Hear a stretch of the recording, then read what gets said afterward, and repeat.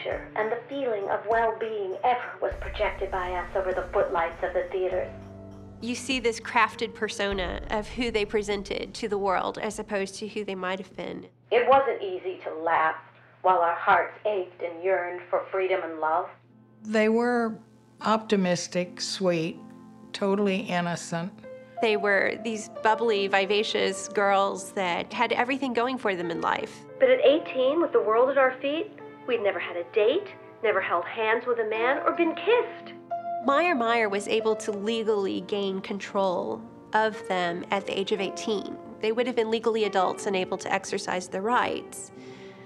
But he had gone to a lawyer to say that they weren't capable of taking care of themselves in that way. And they didn't realize what had been going on or that they had any legal rights um, until I guess they were almost 22 at the time of the trial. They did not even know what money was. They didn't have pocket money or anything. Read all the newspapers you can, Harry Houdini whispered to me, Daisy, one night as he passed me in the wings, as if he knew we had never been permitted to read a newspaper. They saw the fabulous income that they were producing. He would always say, I'm going to give you an allowance or I'm putting some money in the bank for you, but it doesn't really ever materialize. If they ever wanted to spend any money, they had to ask permission. The Myers did not let anyone near them who might have interfered with their money making ability. And they were not allowed to have guys around. In my country, all you need to make a hit with the ladies is to sing to them. Stage fame did not answer the wish in our hearts. I, Daisy, was in love. Daisy had fallen in love with Don Galvan, who was a, a singer. That's the story of, that's the glory of love. Meyer Myers absolutely prohibited any kind of contact. Why can't we go out and have some fun? Other girls our age do. We've never smoked a cigarette, tasted a cocktail, had our hair cut. You are not other girls. You are Siamese twins. Don Galvan at one point bought uh, a vase of flowers and placed it outside Daisy and Violet's room at a theater. Meyer Myers happened to spot that vase, and there was this note of endearment. He kicked that vase, and Daisy was so upset. She and Violet ganged up on Myers and put their foot down and say, you know, from here on, things are going to be somewhat different. We want our own room, we want our own money, and he started loosening his reins on the twins a little bit and turning over some of the responsibilities for promoting them and traveling with them to others. And one of them was Bill Oliver, who had been primarily a promoter of professional wrestlers. He looked after the twins as Bill Oliver was married, but a relationship developed. He would somehow carry on this romance with both twins simultaneously. It absolutely caused friction between the sisters. There were, you know, times when they wouldn't speak to one another. I mean, they're inches apart, but they wouldn't speak to one another. They would go on stage and, you know, perform as effervescently as always. But then when they got off stage, they would not speak to one another. The twins bought Bill Oliver all kinds of things, including a new car. He wasn't content just to have Daisy and Violet, but apparently he has some other women out there as well. His wife found out, and was suing them for alienation of affection. And that became a great cause celeb in the papers. Bill Oliver, in the eyes of some men, I guess, became sort of a heroic figure. Everybody was speculating about what his nights were like. Here's this 40 some year old guy being able to service two 25 year old women. That's pretty great.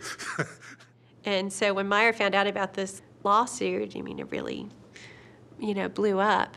Sir put us in the car and drove us to the office of the lawyer, Martin J. Arnold. Martin Arnold, who was primarily the lawyer with my father, who got him liberated from the Myers, uh, was a friend, and he was a really fine man. Bill Oliver and his wife lived in Kansas City far away from San Antonio, so it wasn't even in the same jurisdiction. Arnold said, don't worry about ever having to appear in that. I, Daisy, seemed to have found courage in the kindly appearance and soft voice of the Texas lawyer who I felt would give us protection. He whispers, you know, kind of behind the scenes about what their real situation is, and he steps in to try and say, Is there anything else that you need to talk to me about? After learning about how hateful Myers' treatment of the twins was, he told the twins that he would represent them in an emancipation suit. A trial was held in San Antonio and it received national publicity. We wanted freedom, an accounting of our money, and a receiver appointed to manage our property. Isn't it a fact that they signed this? During my, Violet's, time on the witness stand, I looked at Sir and said, The contracts we signed were always covered, except for the dotted line. When we hesitated to sign, Sir would rave and ask us if we thought he was a thief, and if we didn't trust him, and if we were afraid. So we always signed. Meyer Myers was forced to testify. I'm asking again, did the girls get that money? I don't know. They were paid through my bookkeeper in New York. Did you ever strike them or threaten to strike them? No. So it was just a family affair. Yes, and a happy family, too. Until you stepped in and corrupted it. All this property was bought with the money earned by these little girls. People would be waiting outside the courthouse every day for the trial to start. When the courthouse opened in the morning, there was a flood of people, you know, racing through the corridors. Some of them almost got stomped to death. W.W. McQuarrie was the judge on that. He and his children were close friends of my parents and of the Arnolds. So the judge on that case was very close to the twins. That's why they picked him. All contracts existing between him and us were dissolved. The court awarded them uh, something approaching $100,000. The judge ordered Sir never to interfere with our lives again. Our new life began almost immediately. We went to shows, nightclubs, dinner parties. We drank wine and smoked. And that was the beginning of the end because under the Myers, they were taken care of, but they had absolutely no chance of any kind of freedom that would have enabled them to handle fame on their own. We look forward to a future promising real happiness. Be careful what you wish for, you may get it. They're going to try to sample and do all the things that they had never been able to do. They could cut their hair, buy their own I'm clothes, gonna have yellow hair. Could drink champagne and explore what life was going to be like on their own. Their freedoms now were completely unchecked. They were out all of the time, every night. I think it was probably sexual freedom. One of the, the great stories is that during the trial, they were living at the St. Anthony Hotel, and for the first time, they could really have gentlemen callers. They had boyfriends, and I would see one of them fall asleep while the other one was doing something else, not having relationships. They could remove themselves. Almost it was a psychic thing, one from the other, never from each other as performers or as sisters. I can get rid of you, I, Daisy, would say to my sister. I could, mentally, just as she could dismiss me. We had to do as Harry Houdini once said to us live in your minds, girls. He told us that as we stood beside him in the wings one night in a Detroit theater. It is your only hope for private lives. Just recognize no handicap. They knew they were individuals, actually. You couldn't tell Daisy from Violet, or Violet from Daisy, but they were making the best of their world after they got free, but they could not cope. They tried to have some sense of normalcy. Um, at one point, they had a small apartment here in San Antonio, and here was a place that they could call their own, that they could, you know, get their own groceries, and you know, they could fix it up just the way they wanted, and that it was it was kind of playing house. Tod Browning, the great film director who had done Dracula movies, wanted to do this film that was based on a short story that involved a lot of sideshow freaks. He wanted the real thing. The twins were not in the circus, they were in vaudeville now. I mean, they were, you know, sort of the elite of the freaks. Initially, they bridled at the idea of appearing with other freaks. I mean, they did it for the money, but I think they thought that appearing in a movie might be a first step for them to move to bigger and better things. Tod Browning was at that time a, a very prominent director. He didn't want the makeup department to create his freaks. He again wanted the real thing. So he hired all of these freaks from various circuses.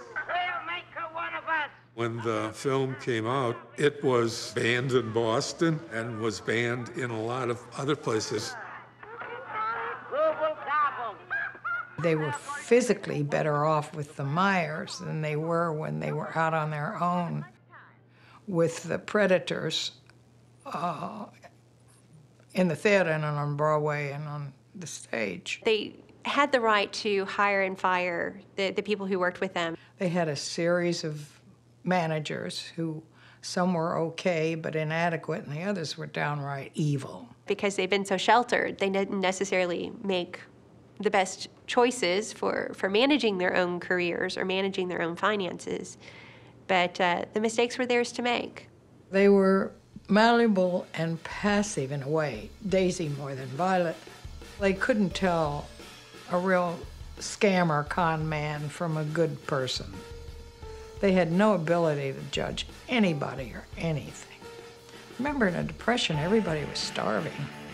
The, these managers of acts were vociferous in their approach. They were hungry. Unfortunately, they're right at the point where vaudeville isn't at its heyday anymore. You're starting to fight with motion pictures for people's attention.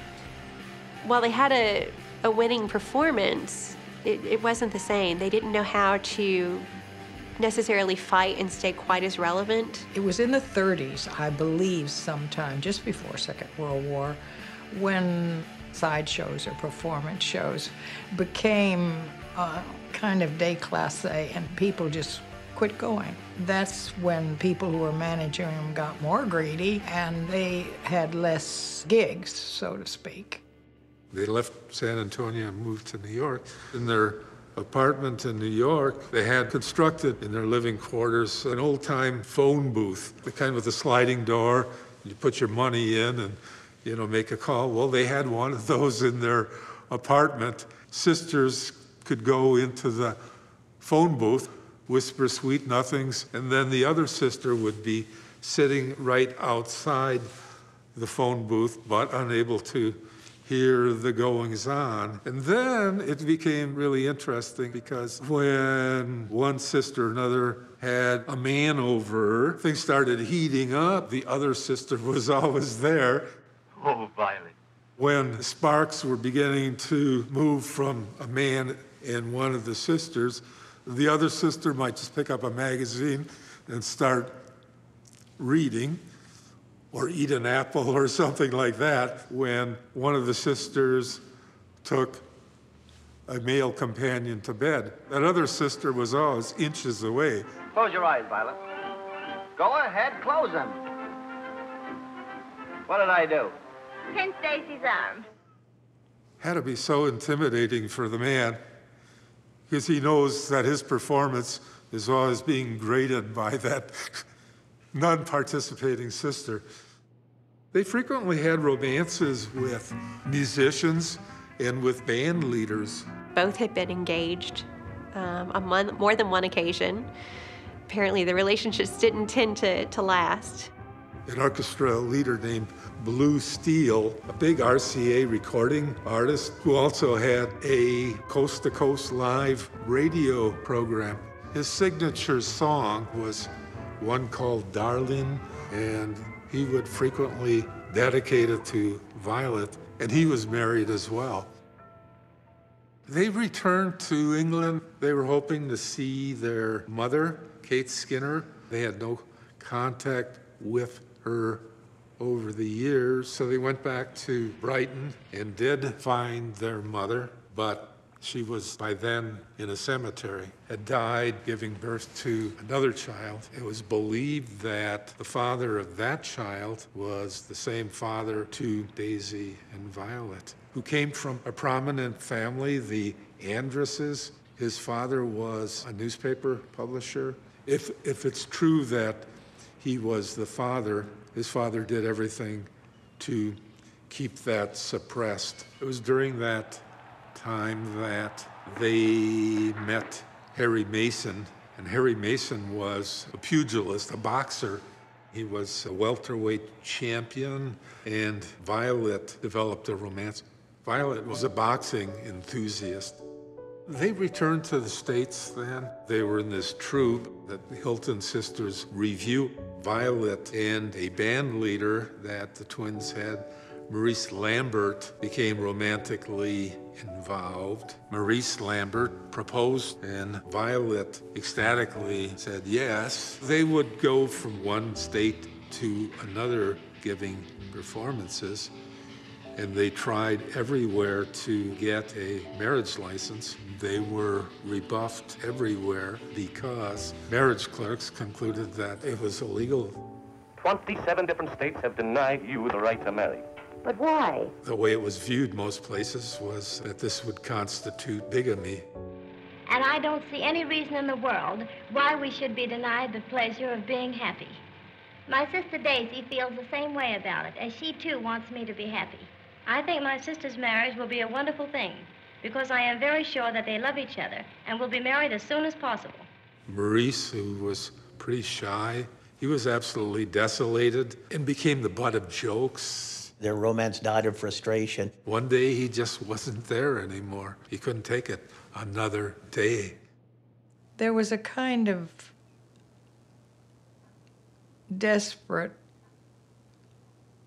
uh, I'm okayness about them that was admirable. The twins were traveling with their own revue. Daisy came with child by one member of the show band. Ultimately, they had to disband, just wasn't generating enough money.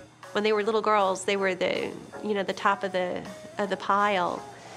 And I don't think when they were independent that they had the same sort of knowledge of how the audience and the market was changing. In 1936, which was the year of the Texas Centennial Exposition at the Cotton Bowl in Dallas, it celebrated the 100 years of Texas's statehood. Terry Turner was managing them. He had this crazy idea to have one twin or the other marry at the fair. So this is just a little publicity stunt. This is an engagement. We're going to get married. Just a little publicity stunt. Nothing serious, eh? I've heard enough. Thought this would be a great promotion, that it would attract great, great crowds. Daisy, of course, was visibly pregnant. So ultimately, it was left to Violet to assume this role. Maybe he's right after all. This is show business. I knew you'd come up with some crazy idea. But this one might have possibilities. By the way, who's the groom? Jim Moore, who was this song and dance man who appeared in their shows, Terry Turner told him that he was going to be the husband, Jim Moore was absolutely horrified. But he was gay as a grig. he said, if I can get the license, will you do it? And they said, okay. A part of them really wanted to have that, that wedding, and Violet in particular, I think that was something that she had always desired. I hope you're not falling for that sharpshooter. Even though it was arranged for the event, I don't think it mattered so much that it may not have been, you know, a marriage for love. There were billboards all over Dallas, you know, promoting this wedding. Terry Turner was anticipating this huge, huge crowd for which people had to pay an admission. How many people were there? Well, I would judge about 5,000 people. Jim Moore, who towered over six foot, almost pencil thin uh, guy, and Violet, who was maybe four and a half feet tall. Where were you married, Mr. Moore? Well, we were married at the Cotton Bowl at the Dallas Centennial, Dallas, Texas, on July the 18th. One report had uh, Daisy giggling throughout the ceremony. Hold it! Still! Following which, people from the audience were able to stream down on the field and congratulate the newlyweds. When they got through with the ceremony and got out of the range of the cameras and everything, uh, everybody kind of retired backstage and they all had a glass of champagne and a laugh. I tried to leave as inconspicuously as possible and go to the hotel, camping outside the honeymoon suite were all these damn reporters who camped there every night and they would be putting their ears against the door, try to hear a squeaking bed. And nobody came out of the closet in those days, believe me. So there was no real honeymoon night. The newspapermen wanted to get a picture of three of them and he messes up his hair to look like all kinds of things happened in an interesting way the night before, but nothing happened, I can assure you. He was a young man. He uh, thought it was just a, you know, crazy part of his job. Jim Moore loved Violet, but not that way. You know, that was not Jim Moore's predilection at all sexually. Daisy, her sister, was pregnant at the time. And I always thought, well, why didn't Daisy take the opportunity to get married and to try to legitimize this child? This did bring about a certain rise in the marketability of the twins. You know, they became a little more interesting now that one of them was married. Well, I first consulted attorney about 10 days ago, and he told us that the nicest way to get out of this was to sign a joint petition. Naturally, to get an annulment, you have to never have lived together as man and wife. Jim Moore ended up, and I didn't know this till there is a theater in San Antonio called the Aztec. Below it was a restaurant. As we started talking in his restaurant called El Matador, this was 30, 40 years later, he casually mentioned that he had been in vaudeville and knew the Hilton sisters. He said, in fact, I married one of them, kinda. I think their fans felt duped. They did turn on them, yeah. We understand it was all a publicity stunt. Yes, that's right. Uh, the office that we worked for made all arrangements for us before we even arrived in Dallas, and it was advertised several days before we were even consulted or asked if we would go through with it. Our marriage was just a publicity stunt, publicity stunt. Was all a publicity stunt. Jimmy and I are the very, very best of friends. He sure is a swell guy. I think the world of the girls. They still think the same of me. In spite of the annulment, Jimmy and I and my sister are still going to continue as partners and travel through all the nightclubs and theaters. Well, wait a minute. Turn the thing off. It was the start of their hard times. Daisy gave birth to a child, and it was a boy in Minnesota, probably in one of the Twin Cities, Minneapolis or St. Paul, but gave it up for adoption immediately. There was no way that they would have been able to continue their careers, and I don't think there was any other way that they really could have supported themselves. At this point, they were so far down the road of being performers that I think that was really the only thing that they ever foresaw in their lives. Having a child just wasn't part of the picture. The whole show business thing was changing drastically. It was a totally different business. It became unseemly to pay money to see freaks. Motion pictures then started pushing out vaudeville off the stage, and it became more and more difficult for live entertainers to find work. The twins were 28. Now, that is not ancient by any means. They were no longer these dewy faced ingenues anymore. Everything was beginning to slip away in the entertainment world, not just for them, but for all live entertainers.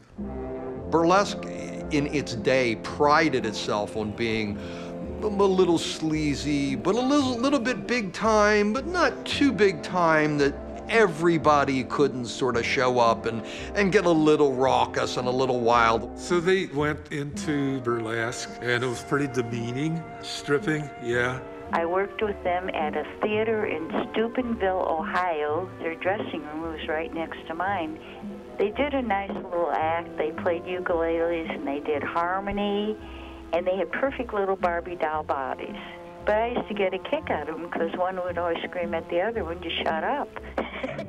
The Hilton sisters were a vaudeville act. Vaudeville didn't exist in the 40s, and these people still needed a job, and I guess maybe they were a draw. Never say you'll be the kind to ever keep one sweetheart on your mind. I don't know if they danced. I mean, they couldn't be like separating them on either side of the stage. They had to stay together. Ah!